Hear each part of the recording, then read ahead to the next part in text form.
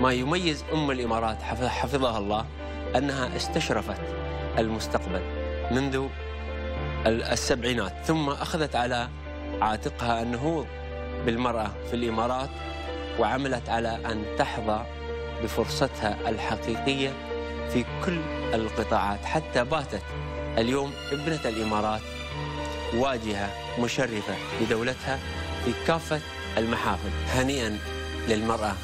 في بلادنا بسمو الشيخة فاطمة بنت مبارك أم الإمارات. حفظها الله التي حققت نقلة نوعية على صعيد تمكين المرأة في كافة المجالات.